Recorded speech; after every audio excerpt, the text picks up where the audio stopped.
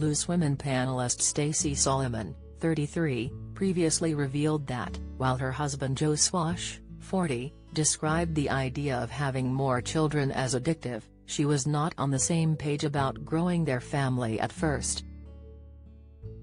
Joe apparently disagreed with her and said that had never say no to the idea of adding to their brood. Before the shock announcement, Stacey had other ideas and, during her last pregnancy, she took to Instagram to say that she felt fulfilled and that her family was enough. In her post, she even claimed that she was giving birth for the last time. The star wrote, for the last time.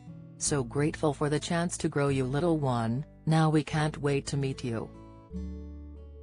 Sharon Osbourne looks in good spirits after emergency hospital dash however, everything changed when Stacey shared her pregnancy announcement with her 5 million Instagram followers and posted a video of herself with a positive pregnancy test.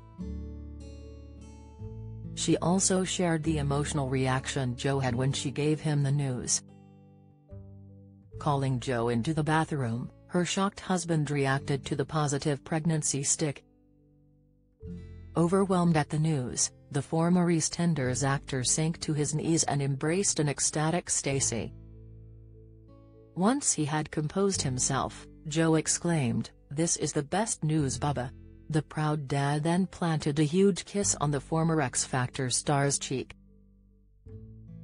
Don't miss, Stacey captioned the heartwarming video, me plus him equals so grateful and cannot believe I'm saying this, another pickle is on the way. Sick, pickle is the affectionate term she uses to describe her brood and is also the name of the cottage she shares with her family. The latest addition means that Joe and Stacey will be a family of six living in Pickle Cottage. The couple are already parents to Rose, 14 months, and Rex, 3. Stacey also shares son Leighton, 10, with ex-partner Aaron Barham, and eldest Zachary, 14, with Dean Cox.